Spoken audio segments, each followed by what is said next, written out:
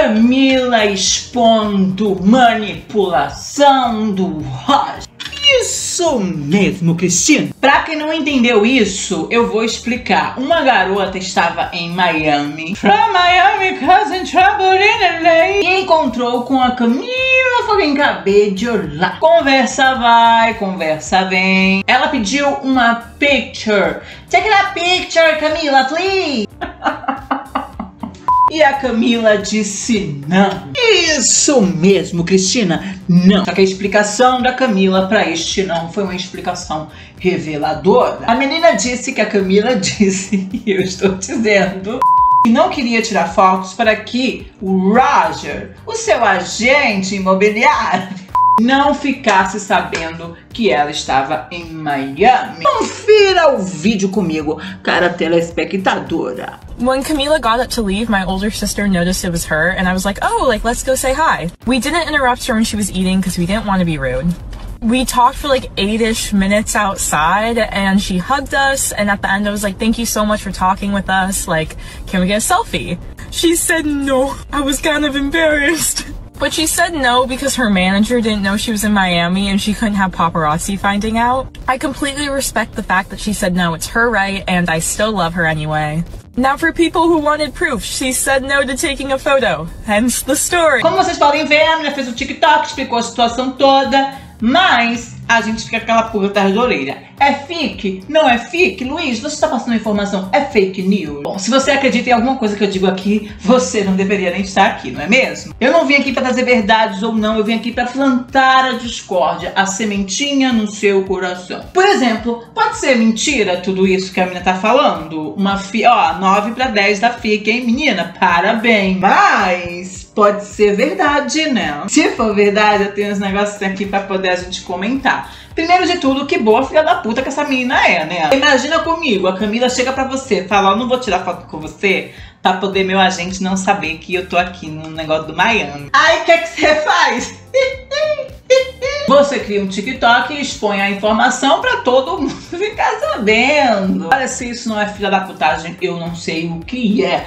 Mas, se também for verdade, pensa comigo, Camila, amada, você não é menina, né? 300 anos nas costas, lidando com a mídia e as pessoas, você me passa uma informação dessa com uma pessoa. Ah, encontrei aqui na rua, ó, vou dizer a ela, não diz não que eu tô com o Roger não pode saber. Ah, Camila, por favor, tem mais aqui se fuder, meu amorzinho. Mas tirando esses dois fatos, se isso for verdade mesmo, eu já sabia, né? Eu tô aqui falando de há muito tempo. Mas você pode me dizer, Luiz, mas não é fique que você diz? É fique, gente. Eu, eu jogo que é fique. Se se concretizar, como muitas coisas já se concretizaram, aí eu digo, eu avisei. Um bom fila da puta que eu sou. Teve gente dizendo que é super real e que o Roger não quer que as pessoas saibam que a Camila é, não está com o Sean, porque quem, pra quem não sabe, o Sean já está, acho que não me engano, no Canadá. Em algum lugar no mundo ele está, não é verdade? Que não morreu, tá vivo, graças a Deus. Até com a camisinha dele aqui, ó. Ó, meus peitos fazem uma espanhola. Mas assim, o Roger não quer que, não, que a pessoa não saiba que eles não estão juntos. Não que tenham se separado, pelo amor de Deus, não estou muito bem, muito obrigado.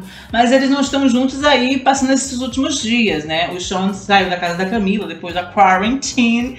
Quarentena que não teve, né? Que a gente via todo dia na rua. Mas longe de mim uh, falar alguma coisa, senão vou ser apedrejado. A Maria Madalena do Twitter. Inclusive foi aniversário de Chamila esses dias, já é um ano de relacionamento. E eu recebi algumas mensagens, Luiz, você não vai zoar os Chamila Shippers nesse um ano de relação? Eu falei, claro que não, desgraça. Eu tenho tempo para isso. Deixa o povo chipar o que quiser, deixa os povos fazer o que quiser. Nós Cameron Shippers, por exemplo, a gente não tem nossos dias também? Que a gente, né, comemora? Tá há anos comemorando aí o negócio da Cameron.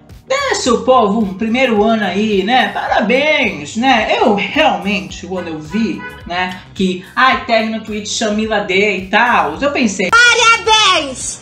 Quem não sabe fazer, copia mesmo, né? Mas assim, aí o Roger não quer que saiba que ela tá num, num ponto, né? E o, o, o dito cujo tá em outro. O que eu acho estranho, né? Porque você namora uma pessoa, você não fica grudado 24 horas. Nem casados fica grudado 24 horas, né? Por que os bichinhos têm que ficar? Eles se amam, eles se gostam, né? Aí vai, se encontra, dá na volta leves batidinhas.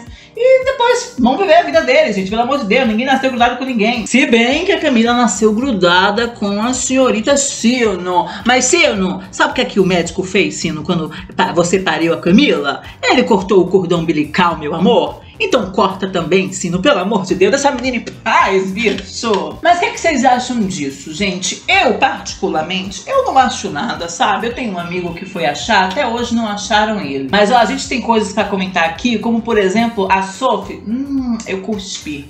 Como, por exemplo, a Sophie, né, que é a irmã da Camila, expondo o Cameron no live. Nós temos Lauren Horeg também sendo a palmeirinha latino-americana. Isso e muito mais agora no Plantão Sapatão.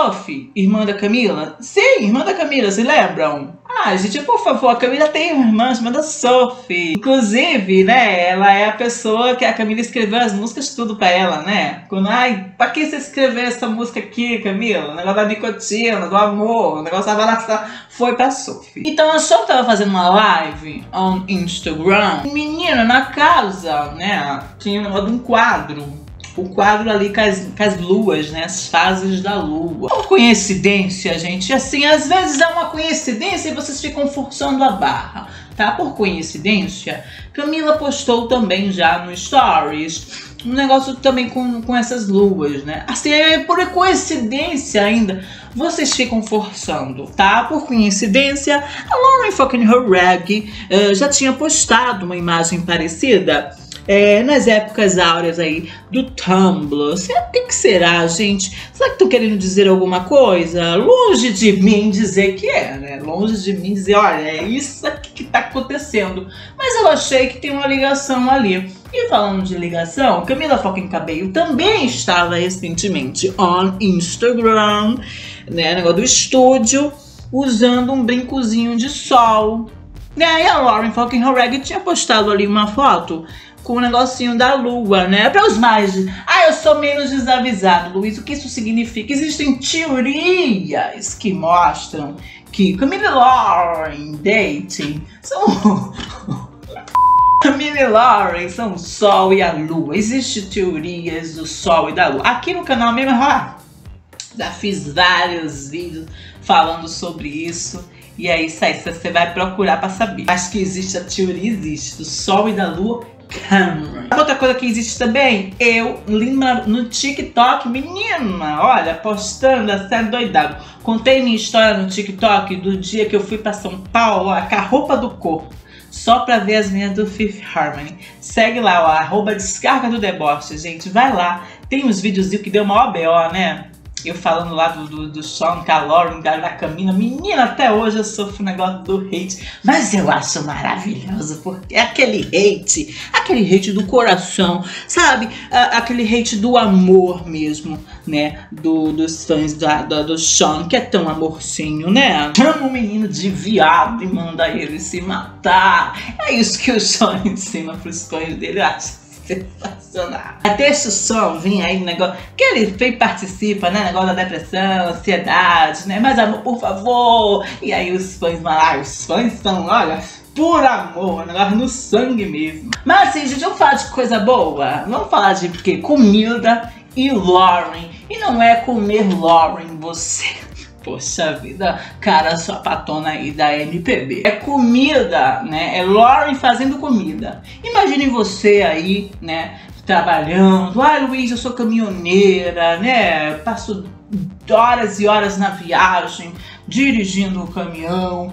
Quando eu chego em casa, eu tenho minha mulherzinha ali fazendo uma comidinha e você abre a porta e é Lauren fucking Lauren fucking Horeg cozinhando pra você. Hey, approach time. Oh, two cups of flour. I don't know. I'm making this up. and dough. In the dough, you need salt, right? So water wise, I'm gonna do like half a cup. Three, whatever. We're just going with it.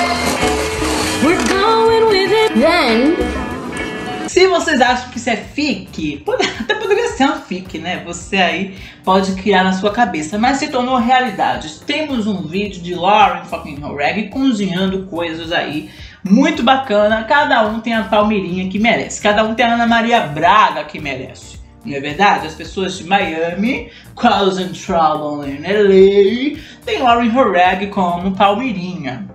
A gente tem a Palmeirinha. Não, não que eu não goste da Palmeirinha, é maravilhosa. Mas né, queria uma Lauren Horeg me ensinando todo dia a como fazer as coisas. Mas agora, obviamente, quero saber de você. O que, que vocês acham de tudo isso, gente? Essa menina aí expondo Camila Cabello. É verdade isso? Meninas da Lori aí com a barriga no fogão. Vocês gostaram? Acharam tendência? Comentem embaixo que eu quero ficar sabendo. Hoje é aniversário da Ali Bolinho, ó.